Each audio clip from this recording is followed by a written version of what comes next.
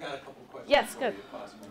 Um, and if, if you, you can do it to camera if you want. Sure, if yeah. you were to be asked for a couple pieces of advice in terms of students trying to get an internship, what might that be? Don't make mistakes on your resume or your letter. Can you start off with? Sure. you're gonna go The, the best way to get an internship is to uh, know exactly who you're writing to. Make sure you do your homework. Find out who the right person is at Crain's to send all your information to. Don't make mistakes on your letter or your resume. Try to find out, um, know the publication that you want to do an internship with. You should know that uh, what Crain's is all about. So when uh, they might call you, you don't say you want to write about uh, People magazine kind of stories because this is Crain's. So you try to try to look closely at the publication so you know going in what the paper is about and understand that and uh, let them know that you're willing to really uh, dig in and do those kinds of stories or help do those stories. I'm not sure for internships what that's about. While you're an intern, whether Mm-hmm. it's at Crain's or somewhere else, what's the best advice you can give somebody while they're an intern? So they got the internship, Once you're an intern, the best advice I can give is uh, make sure you know exactly what your duties are and give 120% to those. And then don't be afraid to ask your editor, your boss, uh, what more you could be doing.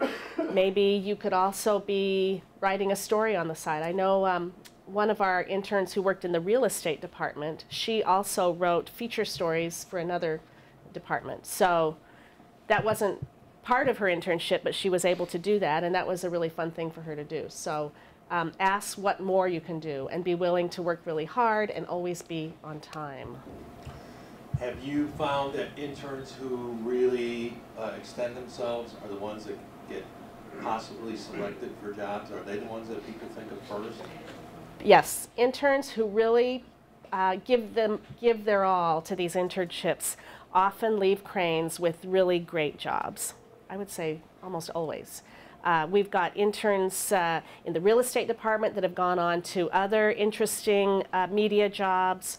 We have uh, interns now who are also being um, wooed to other places. There's a woman um, who works in our video department actually, who's now doing a fashion segment for Fox because we started that in our lifestyle section. Fox liked it, so now she's doing work there. So um, I think there are a lot of opportunities for, uh, for people who work at Crain's as interns to go to other places and do really good work.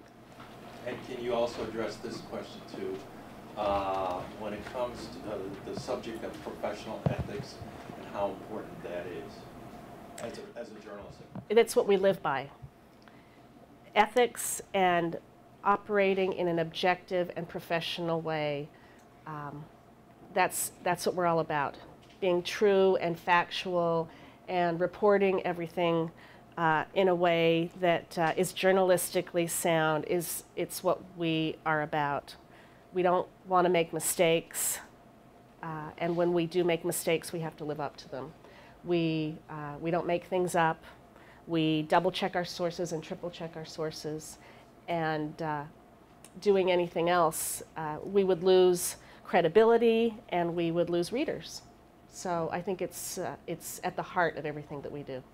Do journalists have to be careful at times that people might try to undue influence them? Is that something that, you know, you can uh, speak to?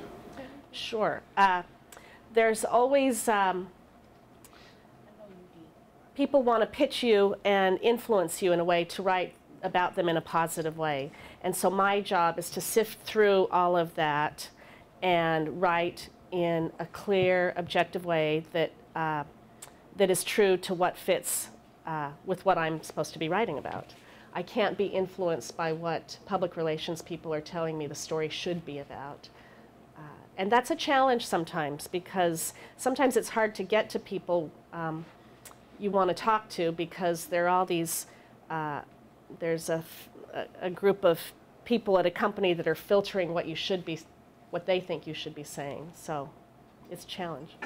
And how do you deal with the gatekeepers? For example, if you're trying to get a story with, I'll use the mayor as an example, there often are a number of gatekeepers that are trying to keep you from actually Right. asking the questions you want to ask. Right. It can be really frustrating, but you have to be patient and professional and remind them of the good work that you do. Uh, that happens a lot in working with the mayor's office. I have to go back and say, uh, look, uh, this is the story. I'm going to stick to this story. Uh, you can trust me that I'm not going to deviate into other uh, uh, issues, and it would be nice if then they give me the time to talk about what I want them to talk about.